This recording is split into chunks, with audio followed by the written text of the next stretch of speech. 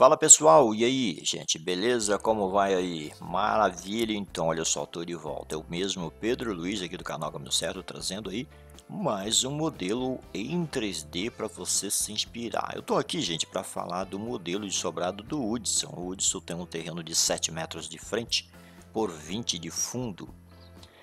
E aí, ele mandou o rascunho da planta dele para ser transformada em 3D. Então, embaixo do vídeo na descrição eu tenho meu contato de e-mail, caso você queira transformar a sua planta em 3D, então tá lá certinho lá para você entrar em contato comigo e a gente combinar aí para fazer esse serviço aí para você, ok?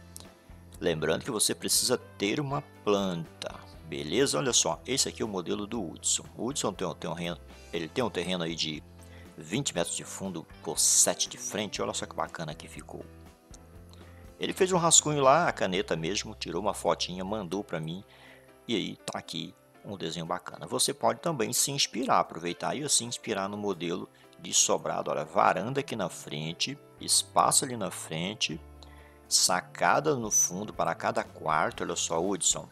Ao invés de eu colocar um, uma ponta de laje aqui, eu preferi, Hudson, colocar, né, para servir de inspiração só para você, então, para você e para quem está aí, né, assistindo também. Aliás, é um prazer ter você aí do outro lado sempre prestigiando os meus vídeos. Eu coloquei aqui para cobrir as sacadas esse detalhe ali, né, que é uma tipo assim um todo, porém no modelo assim de vidro, ok, de um material de vidro, mas isso é só para você ter uma noção ali. Eu não sei se você vai colocar laje, fazer um telhadinho, botar um todo ali ou deixar sacada ah, no tempo mesmo, assim, à vista mesmo, sem cobertura, beleza? Tem gente que deixa, agora eu não sei, mas tá aí para você ter uma ideia, olha lá que bacana.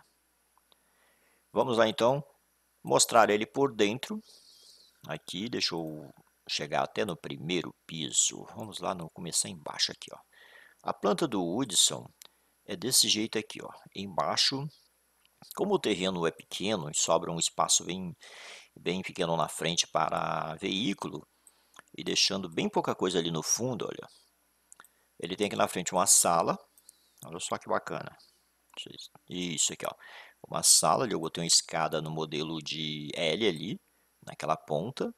Aqui nós temos um WC e no fundo cozinha, ok? Esse finalzinho aqui foi feito uma cozinha, olha só que bacana. Cozinha e copa, porque o terreno ele oferece, né, pela largura 7 metros, dá tranquilo. Simplesmente deixar uma abertura aqui no lado de, de um metro e meio nesse corredor e ali articular a cozinha. Ó. Olha só, a cozinha a copa, que bacana que ficou.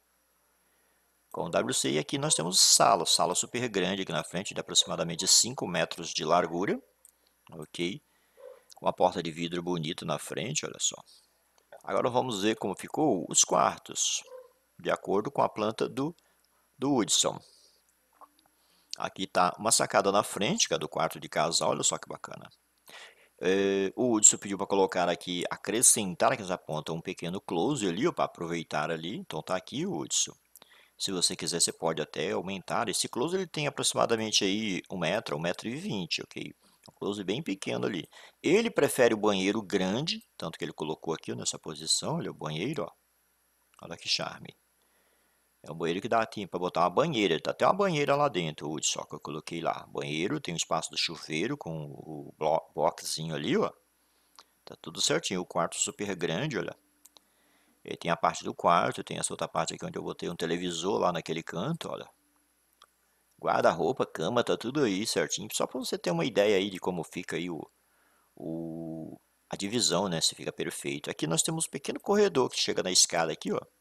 Você tem acesso ao WC social para os quartos aqui no meio, a entrada para o quarto seu ali, ó, e a entrada, as duas entradas para os quartos do fundo, que seria aqui esses dois quartos com sacada. Os dois quartos ficou, ficou show de bola aqui com as sacadinhas aqui, ó. Olha que bacana. Ao invés de janela, você coloca uma porta grande de vidro. Porque esses quartos ele ficaram aproximadamente com quase é, 2,55 metros. Uma boa largura para 2,55 metros. Porque o terreno de 7, se você deixa essa abertura de 1,5 metro, e meio, você tem 5 metros e meio para trabalhar aqui em cima de, de largura. Então dá tranquilo. Ali nós temos a escada, o vão da escada aqui. Vamos ver se dá para chegar mais perto aqui, olha lá. O vão da escada ali. e um pequeno hall de chegada aqui, onde você tem acesso aos, aos cômodos ali, beleza? Aí tá aí mais um modelo de sobrado bacana, você que tem um terreno pequeno quer se inspirar, desde que ele seja de 7 metros de largura, pode ser de 20, 25, 30, e quer ter uma noção de um, de um modelo bacana de fachada, tá aí, ó. Portão na frente, portão de garagem, um portão social ali, olha. Em cima o telhado embutido, olha só que charme. Eu fiz desse jeito. Eu botei aqui, Hudson, esse modelo de telha, só para você ter uma noção do telhado, ele pode ser com essa calha no meio, ele pode ser também com a calha assim, ó, do jeito que eu estou colocando o mouse ali. Isso depende muito de você aí, tá? Então você pode... Esse jeito eu achei legal porque ele tem essa parte aqui. Então, no caso, se você jogar para ali, vai atrapalhar. Então, aqui a água caía aqui e caía nessa calha central de fora a fora ok? Ou de uma outra posição, ele caído dessa parte aqui para aquela parte ali, ó. ok? Ele começando alto aqui e caído para cá, ok? Mas aí é opcional, você vê aí como vai fazer. O importante mais aí é proteger a laje, tá? E ele fica escondido ali em cima ali, ó. Beleza? Tá aí.